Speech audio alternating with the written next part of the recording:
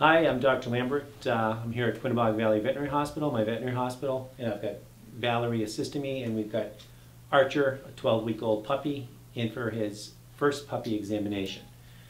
So today we're going to take a look at Archer from from tip of his nose down to the tip of his tail, and make sure he's healthy.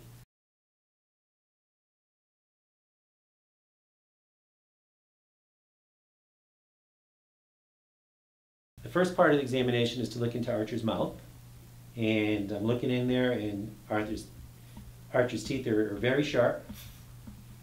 But these are his puppy teeth. He's going to be losing these in the next probably two to three weeks up until he's about six months of age. And we'll keep an eye on his, his adult teeth as they come in just to make sure they're coming in correct. So his teeth look good, so I'm going to check out his eyes. His eyes look very clear. They look good. Good boy. Now his ears. He's a good boy, huh?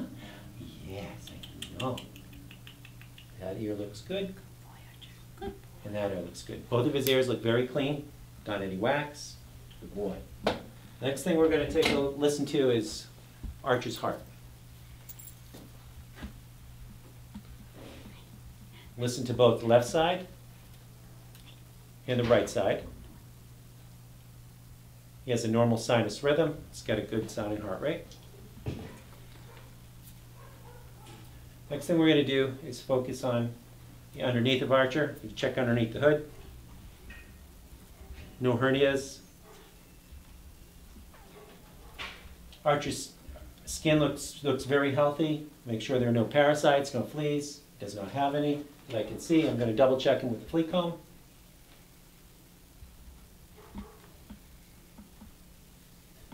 He's got no dandruff, his skin looks healthy, his coat looks healthy. So now I'm going to check his limbs. Make sure his back legs feel normal, his knees, his hips, his knee, and his hip. I'm going to take a look at his tail.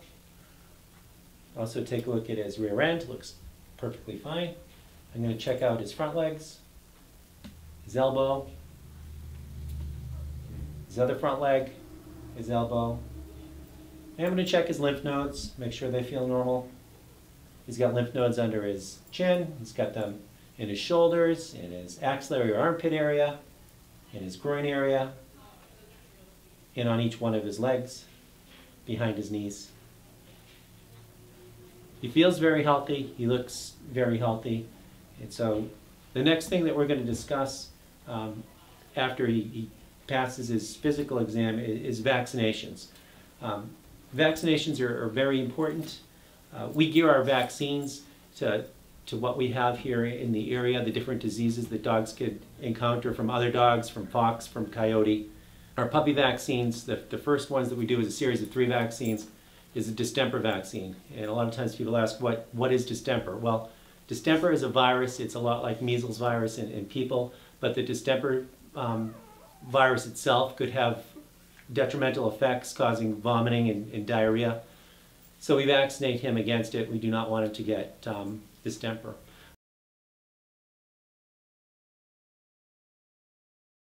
And Archer is also due for his, uh, for his rabies vaccine.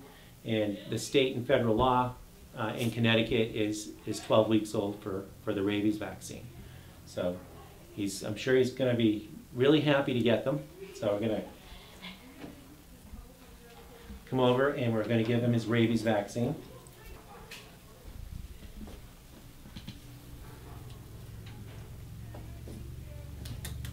What a good boy. Good boy. What a good boy. Got his rabies boy. vaccine. What a good boy, yeah. Good yes. job. We'll give him a treat because he was such a good boy for that vaccine. What a good dog. And since Archer is is smaller, we'll probably split his vaccines up a, a week or so apart. Some of the smaller dogs I like to separate the vaccines out. So I'm just giving him his rabies vaccine today. I'll give him his distemper vaccine next week. What a good boy. Good job. Yes. Hi. Yeah, you're such a good boy.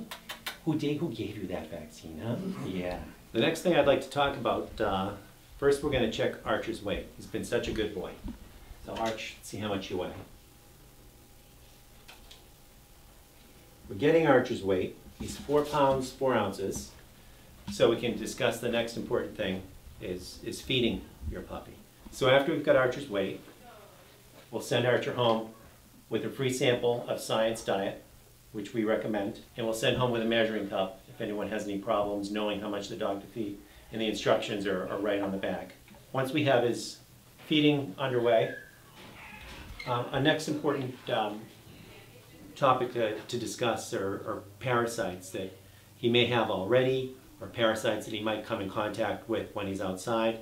And the different parasites, I don't know if you can move this over here a little bit, roundworm, hookworm, tapeworm, and whipworm are all parasites that can be in the ground that he can come in contact with.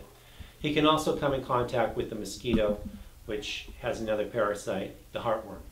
So heartworm medicines these days are very comprehensive and they do a good job treating um, parasites and keeping them um, out of our dogs and our pets. Iverhart Max is an example of, um, of a heartworm product that we prefer here at Quinebaug Valley Veterinary Hospital. It helps with heartworm, hookworm, roundworm, and tapeworm. And we give this once a month as preventative so he will not get any of these parasites. So another product, uh, as well as the heartworm product that uh, makes, are uh, dental chews and dental rinses, which we will talk about uh, um, with you in, in the exam about keeping his teeth healthy for the rest of his life. An important product uh, also to also talk about um, flea and tick uh, prevention in our area. Um, K9 Advantix certainly is a product that we recommend all the time that helps kill fleas and ticks. So after we discuss um, treating for fleas and ticks, another important um, component is microchipping, which can be done um, at his neuter or uh, anytime during his puppy vaccinations, uh, which is always good to have an identification on your dog in case he gets lost. You don't want to get lost, do you? No, you don't want to get lost. No. Well, wrapping it up with Archer, thank you very much for participating in our examination with Archer, and uh, we'll see you here at Quinebaug Valley Veterinary Hospital. Thank you.